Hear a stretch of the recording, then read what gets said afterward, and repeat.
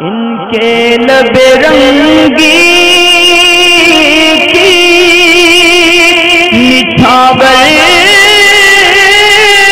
تھی کہ جس نے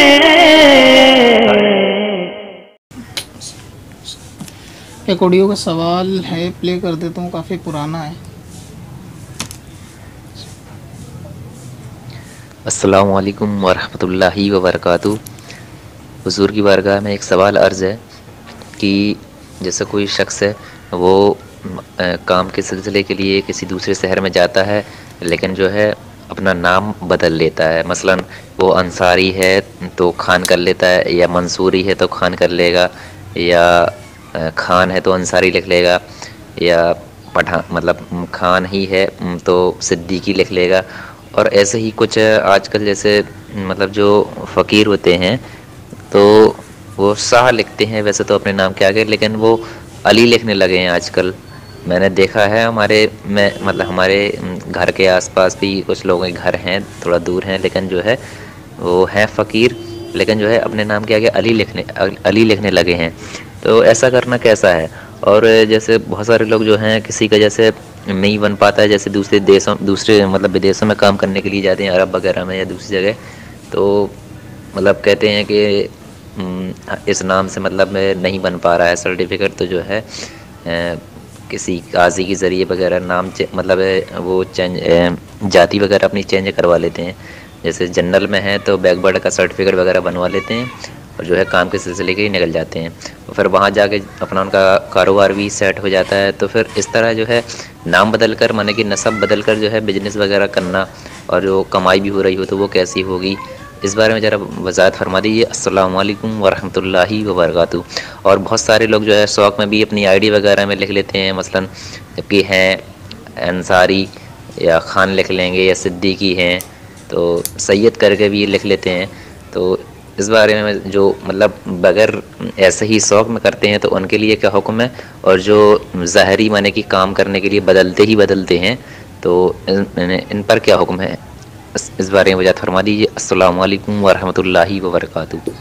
دیکھیں، ذات بدلنے کے تعلق سے جو مسئلہ عام ہے، آج کل یہ او بی سی وغیرہ کے سرٹیفکیٹ جو نقلی بنوائے جاتے ہیں ادر بیکورڈ کاسٹ کے، تاکہ کوئی نوکری کے اندر ان کو سنشودھن یا آرکشن وغیرہ مل سکے، تو اس طرح سے اپنی ذات کو بدل دینا۔ ذات بدلنا مطلب یہ کہ اپنے نصب کو بدل دینا، یہ حرام ہے۔ قرآن مجید کے اندر اللہ تعالیٰ نے اس سے ممانعت فرمائی ہے، اسی طرح حضور علیہ السلام کے حدیث پاک بھی ہے۔ سے پہلے قرآن پاک کی بات کریں، سورہ احزاب کے اندر اس طرح کے جو آپ یعنی بیٹے کو گود لے کر اس کو اپنا باپ بناتے ہیں، بیٹا اپنا بیٹا بنا لیتے ہیں یا کوئی بیٹا کسی اور کو اپنا باپ کہتا ہے، اس طریقے سے اپنے نصب کو بدل لینا کہ بیٹا کسی کا ہے، والد کسی اور کا کہلائے، یا پھر یہ والد کسی اور کا ہے لیکن یہ اپنی اولاد کسی اور کو بتائے، ایسا، ایسوں کے بارے میں اللہ تبارک و تعالیٰ نے سورہ پاک، قرآن پاک کے اندر سورہ احزاب میں رشاد فرمایا۔ ذالکم قولکم بافواہکم واللہ یقول الحق۔ بے شک یہ تمہارے منہ کا کہنا ہے اور اللہ تبارک و تعالیٰ حق فرماتا ہے۔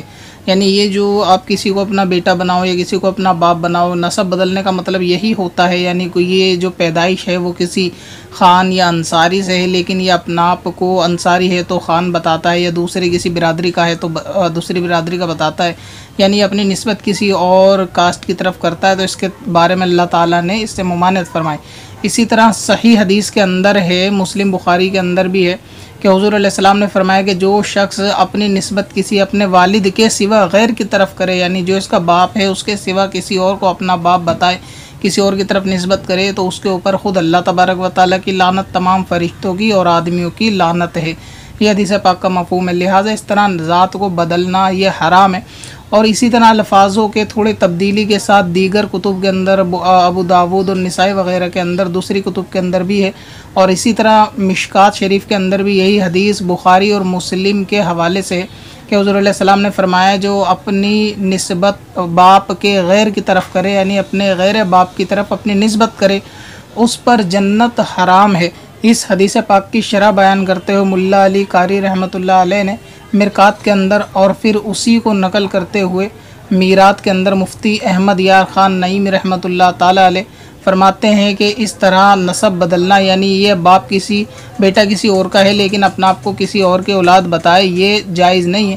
اور ایسوں کے لیے یہ بش حدیث کے اندر وعید آئی ہے کہ اس پہ جنت حرام ہے۔ اور فرماتے ہیں اب یہ نصب بدلنا چاہے اپنے مال یعنی وراثت کو حاصل کرنے کے لیے ہو چاہے اپنی عزت کو حاصل کرنے کے لیے ہو یا اور کسی مصلحت کے تحت ہو، یہ سب اسی جمرے کے اندر ہے۔ اور فرماتے ہیں کہ اے، اس حدیث پاک سے ان لوگوں کو عبرت لینی چاہیے جو سید نہیں ہیں اور خود کو سید کہلواتے یا کہلاتے ہیں۔ اس حدیث پاک سے ان کو عبرت لینی چاہیے۔ لہٰذا جس کسی نے یہ سب معاملات کیے کہ اپنی ذات کو بدلا مطلب یہ کہ اس نے اپنے نصب اور باپ کو بدلا، تو یہ جائز نہیں ہے۔ اگرچہ نوکری کے لیے ہو البتہ یہ کہ آپ نے سوال پوچھا کہ وہ نوکری کر کے کمایا گیا، پیسہ حرام ہے یا حلال، تو دیکھیں، اگر کاروبار اس نے حلال کیا ہے یعنی جائز کیا ہے، تو وہ رقم تو اس کی محنت کی وہ جائز رہے گی، مگر اس کا یہ کام، یہ ذات بدلنا، یہ او بی سی کا سرٹیفکیٹ کے اندر کاسٹ کو بدل دینا، یہ سخت حرام ہے۔ اور بالکل گناہ کبیرہ ہے، بلکہ لوگ اس طرف اس میں ذہن جاتا نہیں ہے۔ یہ اتنا سخت گناہ ہے کہ لوگوں کے ذہن میں صرف یہ رہتا ہے کہ صرف اپنے کاسٹ بدلتی ہے۔ اگر آپ اس کا دوسرا پہلو دیکھیں تو اس کے اندر اپنی والدہ کو معذ اللہ زنا کی طرف نسبت لے جانے والی بات بھی ہے کہ قیامت کے اندر یعنی کسی کا خان ہونے سے مراد یہ ہوتا ہے کہ اس کی ماں نے اس کو خان سے یعنی جنا ہے اب اگر یہ اپنا آپ کو کاسٹ بدل کے سید کہلاتا ہے یا پھر کوئی اور دوسری کاسٹ کا کہلاتا ہے، تو اس کا مطلب یہ ہوتا ہے کہ اس کی ماں کا جو شوہر ہے وہ خان ہے۔